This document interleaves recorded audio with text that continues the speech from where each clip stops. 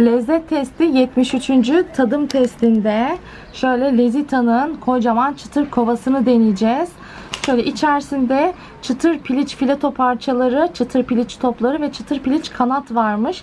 Ben bunu fırında deneyeceğim. Ama önce tabii ki de ambalajımızı açıp içindekilere bakıyoruz. Şöyle. Uuu kocamanmış. Aa içinden şöyle ayrı ayrı çıkıyormuş. Servis önerisi bir kart çıktı. Ve şöyle ayrı ayrı poşetlenmiş. Aa bir şey söyleyeyim bunlar çok güzel gözüküyor.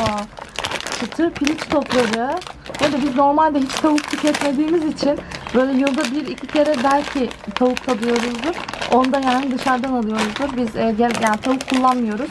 Eğer tabii ki de organik bulabilirsek öyle. Yoksa bulamıyorsak da kullanmıyoruz. Şimdi hemen 230 derece fırında 15 dakika pişip gelsinler.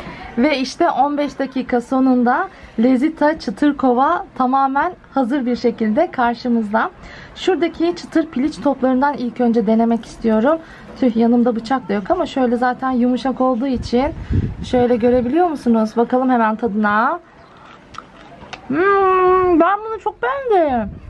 Abi çok güzelmiş. Çok şaşırdım. Şimdi hemen fileto parçalarına geçeceğim. Şöyle 15 dakikada bayağı hatta kızarmış da diyebilirim. Hemen tadına bakıyorum. Hmm, bunun baharatı daha fazla. Kesinlikle böyle cips gibi bir baharatı var. Fileto parçalarının baharatı daha baskın. Şimdi hemen bunlar kanat mıymış ya? Kanat yemeyeli yıllar oldu. Nasıl yendiğini de unuttum. Oo. Bu bayağı hazır e, restoranlarda satılanlar gibi değil mi? Yalnız e, kaplaması soyuldu. Nasıl olacak şimdi? Ay bir dakika bunu böylece ısırıyorum. hmm. Aa, bayağı bildiğimiz şey ya. Tavuk kanat. çok şaş- şaşkınım şu anda. Tadı tuzu yerinde. Kesinlikle çok beğendim ama şurada kocaman bir kabuk var ya. Yani kabuksuz istiyorum. Kabuksuz yok mu? Mesela şöyle şundan bir parça ısırayım. Çok güzel. Güzel. Beğendim. Biz bunu 24 lira gibi bir fiyata aldık.